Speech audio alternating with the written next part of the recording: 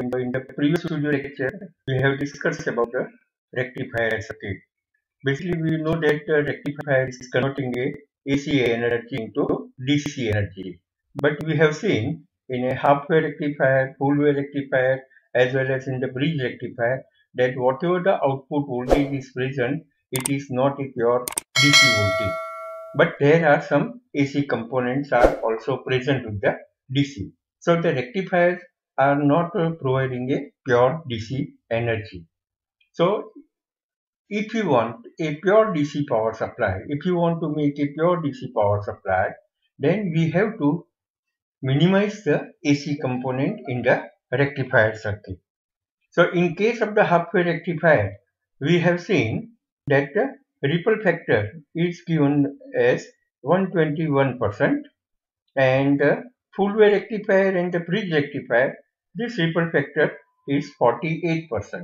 So this indicates that amplitude of the AC component in case of the full wave rectifier it did indicate that the amplitude of the AC component is 48% of the DC component. So here how we can reduce this amplitude of the AC component. So ultimately we have to reduce the value of the ripple factor. So if you want to make a pure DC power supply. So for a pure DC power supply, the ripple factor is a 0%. That is the ideal case.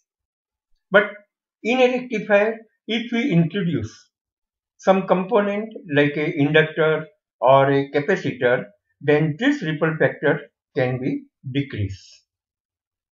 If you use a inductor capacitor in case of the full wave rectifier, then this ripple factor can be reduced from 48% to a 10% or it can be reduced to a 1%. If we have a good quality of the filter component, then it can reduce to a 0.1% also. 1% or 0.1% of a ripple factor we consider a good quality of a DC power supply. So let us see how this inductor and the capacitor is useful for making a filter circuit. Now, if you look at this inductor,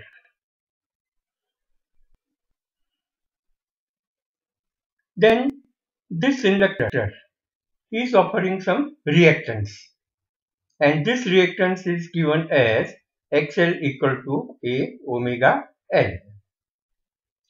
Now, if we pass a DC current, let us say that input to the inductor is a DC current. But we know that for DC, what is the frequency? That frequency is 0. So, if we calculate the reactance of the inductor, then this will also comes out to be 0. It means the inductor will work as a short circuit for the DC current. It will allow the DC current. So, for DC, inductor will work as a short circuit. It will not offer any kind of a resistance. But now instead of DC, if we apply a AC current of a frequency F, then this inductor will give you, it will offer the resistance XL equal to omega L means the AC current cannot easily pass through the inductor. Here the inductor will work as a kind of a resistance and that value of the resistance is determined by the value of the L. So if you use the larger value of the inductor then the reactance offered by the inductor will be very high. It means that amplitude of the AC current will decrease. So as we increase the value of the L, then the amplitude of the AC current will go on decreasing. So, for AC, for AC, inductor will work as a resistor. Correct?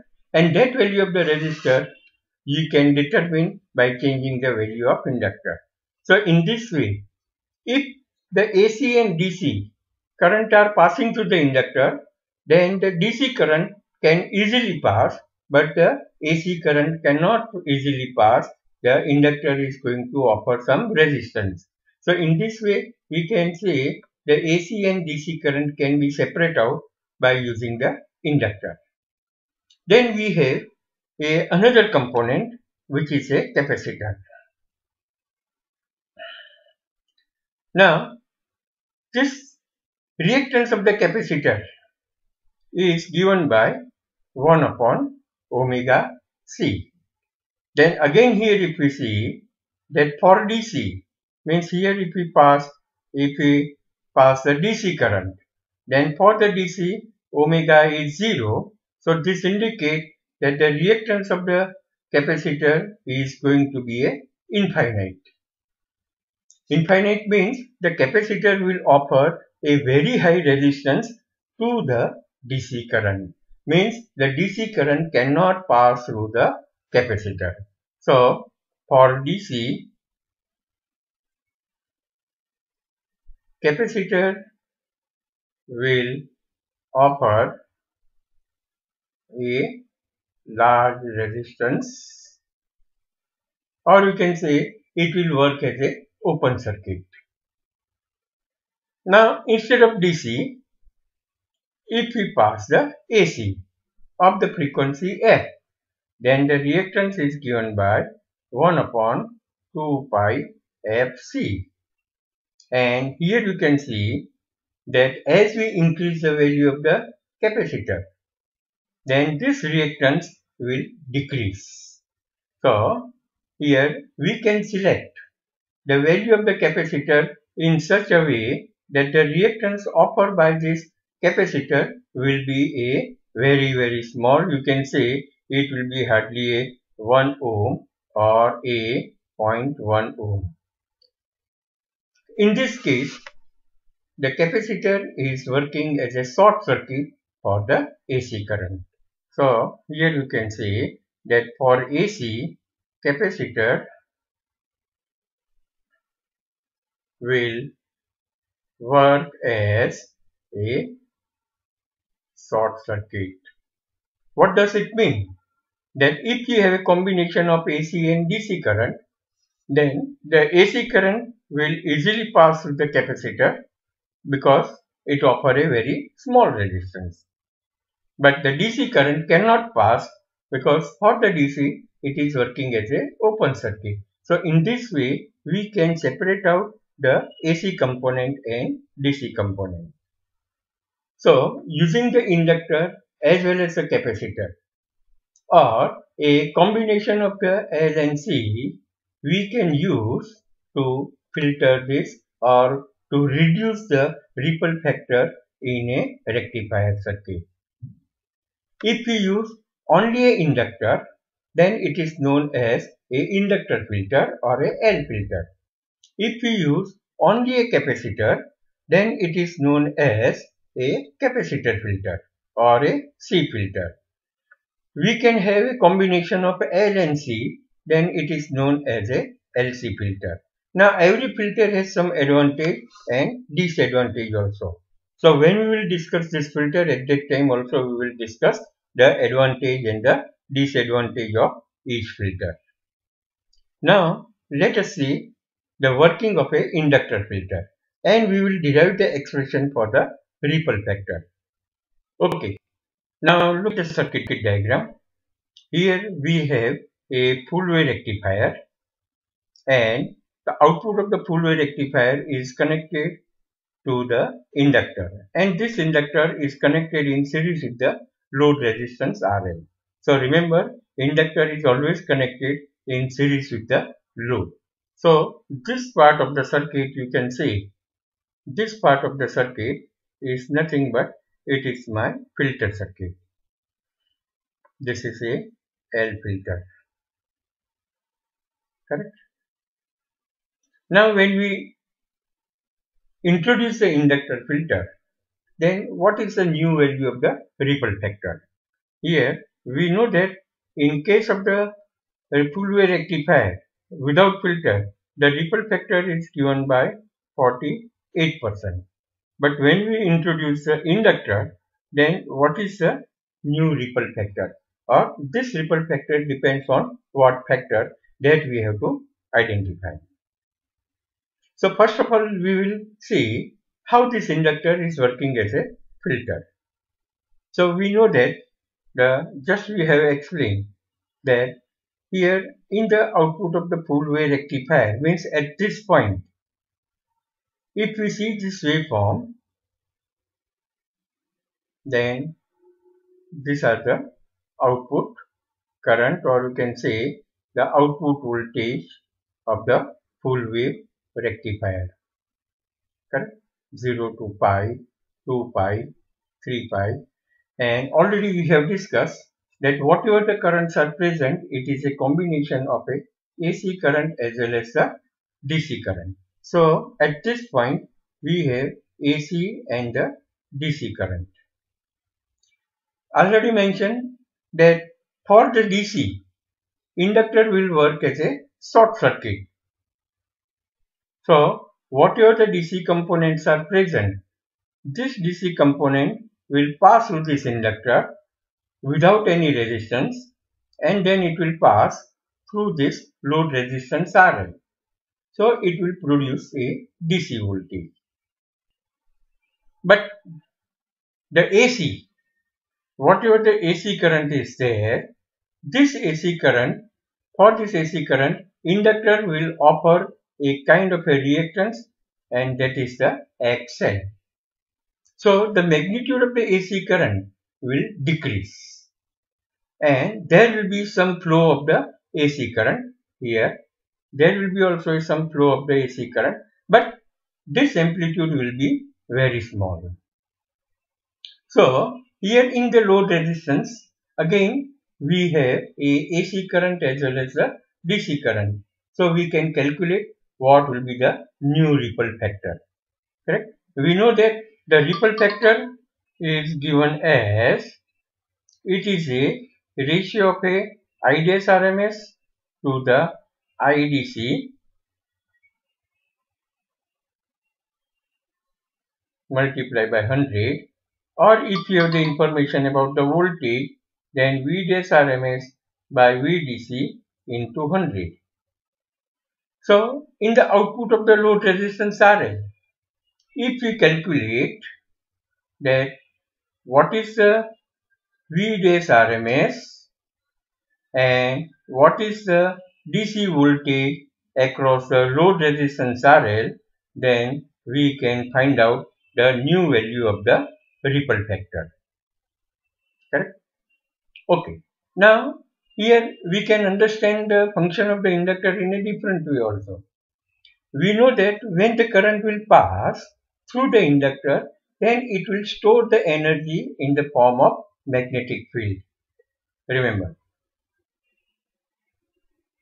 magnetic field. Correct? So, whenever the magnitude of the current is increasing, the energy stored by the inductor will also increase. Already you know that formula is a 1 half Li square. Correct? So, according to this formula, the energy is stored by the inductor. But here the thing is that the when this current is go on decreasing, at that time the inductor will release the energy. Remember, during this positive means when the value of the current is increasing, energy will be stored by the inductor and whenever it is go on decreasing, then the energy will be released by the inductor. So as a result, what will happen? Here the current is going to be zero. But when the inductor will release the energy, this current will not go to the zero.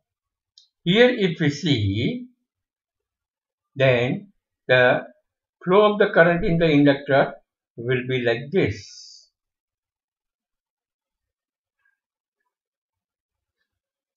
So, instead of going to a 0, it has some minimum value of the current. So, if we see what is the new value of the AC current, then this is the new value of the AC current you can see. So, initially the change of the current is from maximum to 0. So there is a large variation in the current. But now the current is not going to a zero, but it has a, some minimum value of the current. So the amplitude of this AC current is decreasing. Amplitude of the AC current decrease, can, we can say the ripple factor is also decreasing. So this is another explanation that how the inductor is working as a filter. Now we will see a, some mathematics regarding the analysis of the circuit and we will find out the uh, expression for a ripple factor. So as we know that, that this is the output of the full wave rectifier. That is uh, across the A and B. And at this point if we see the voltage or the output voltage of the full wave rectifier then it can be represented in terms of the Fourier series. That already we have discussed in case of the full wave rectifier. The Fourier series of the full wave rectifier is given as a 2 Vm by pi minus 4 Vm by 3 pi cos 2 omega t plus 4 Vm by 15 pi sine 4 omega t. Correct? Now we know that the 2 Vm by pi, this is representing a DC voltage and the rest of the terms are representing a AC voltage. So I have to find out a RMS value of this AC component and that is a V dash RMS. So if we take the ratio of this V dash RMS to VDC then it will give you a ripple factor for the full wave rectifier. So now let us see what is the AC voltage. So here I am taking only AC voltage and that is a 4 Vm by 3 pi cos 2 omega t. I am ignoring the higher terms of the AC component that is the 4 omega 6 omega because the amplitude of this higher harmonic are very small. So here we consider only a second harmonic. Now we have to calculate the RMS value at the output also. So first of all we will calculate what is the RMS value at the point A and B and that is a VRMS. So here the VRMS is nothing but we know that the standard formula that RMS voltage is equal to a peak value divided by root 2. So what is my peak value? Here it is a 4 Vm by 3 pi and then we will divide by root 2 so that will give you the RMS value.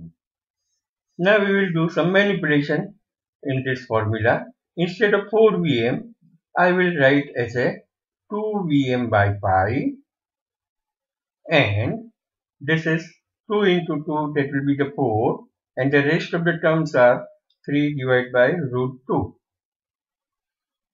So here root 2 divided by root 2 is there. So this will comes out to be a root 2 and my expression will be root 2 by 3.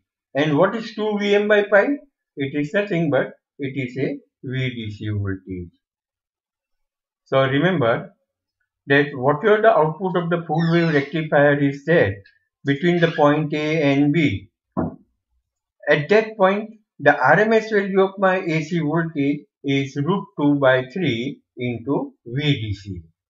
Here it is root 2 by 3 into VDC. Correct?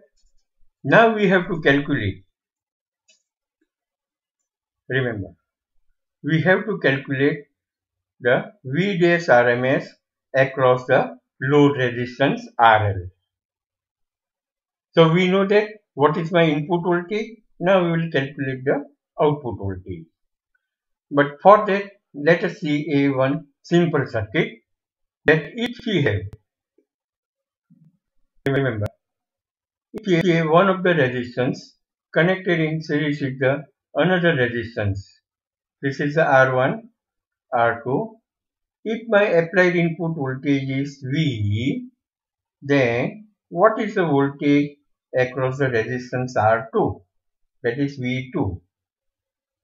So here we have a standard formula it is also known as a potential divider rule and that is given by V2 is equal to a total voltage V into across which you are going to measure the voltage that resistance R2 divided by a total resistance that is a R1 plus R2.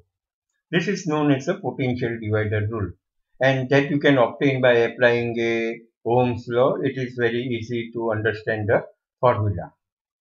Now the same kind of thing you can compare with our a inductor and the resistance RL.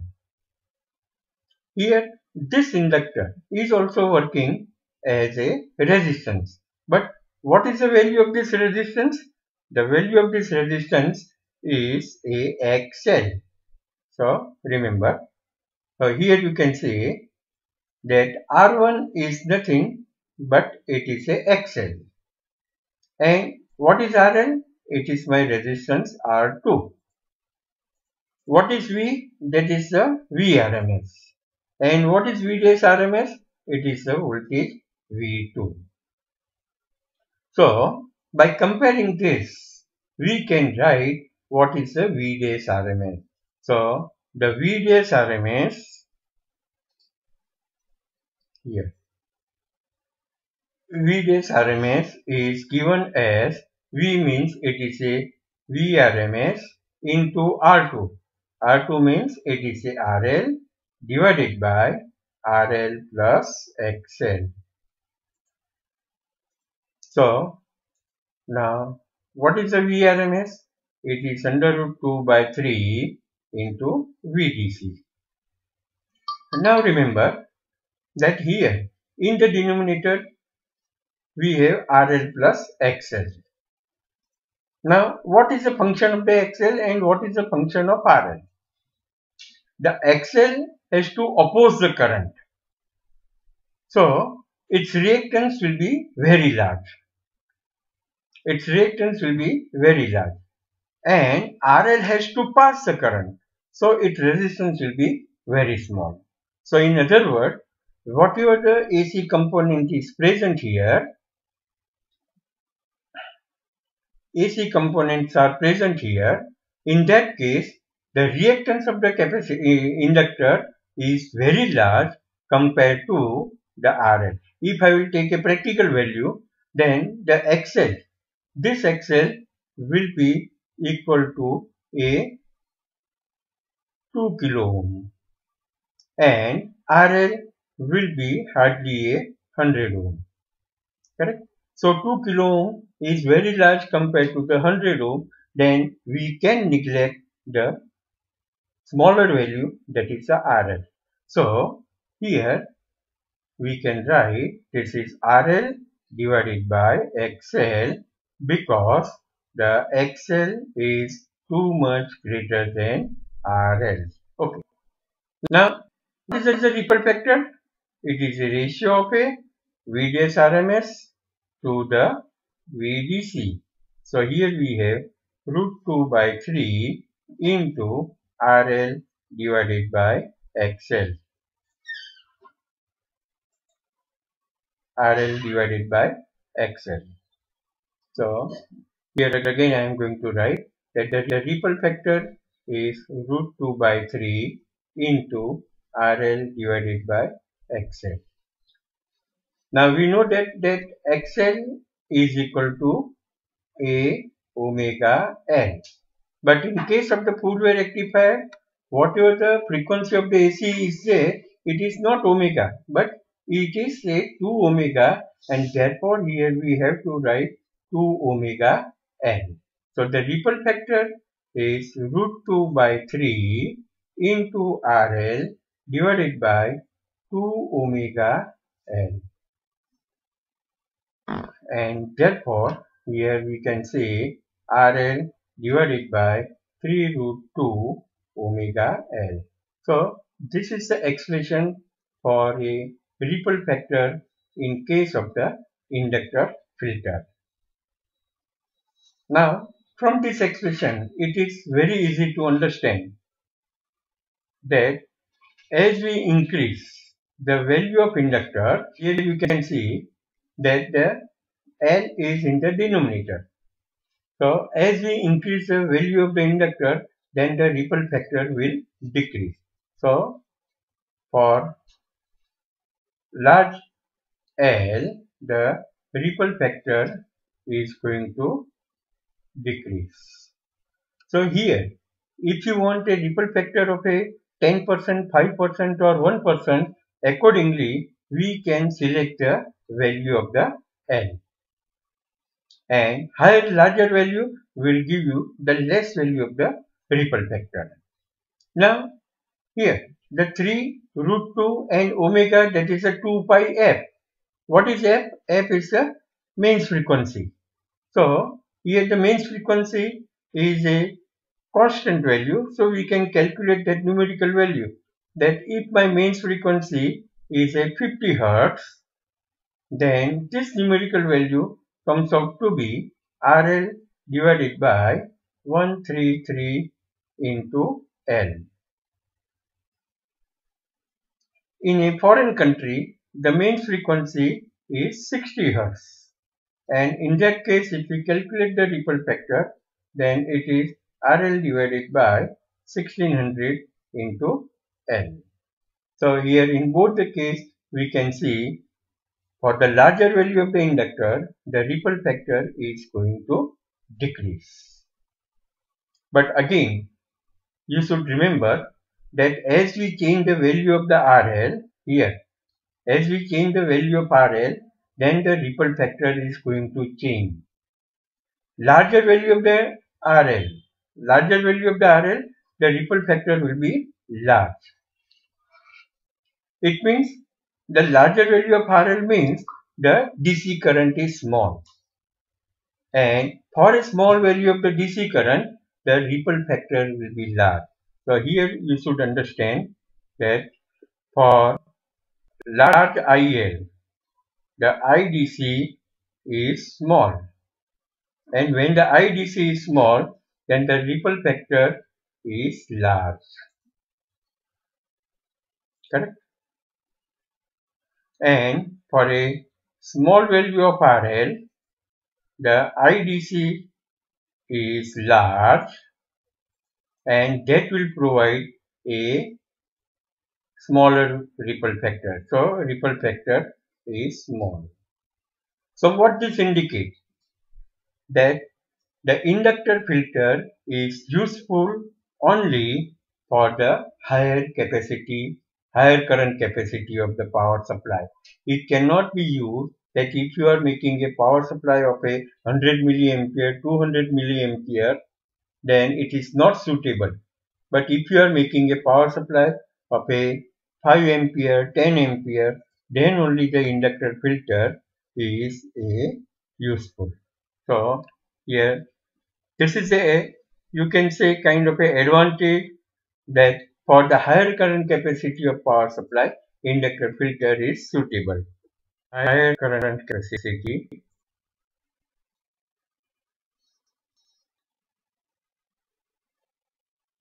of power supply L filter is suitable. But remember, normally in some of the cases, we are using a power supply of less current capacity.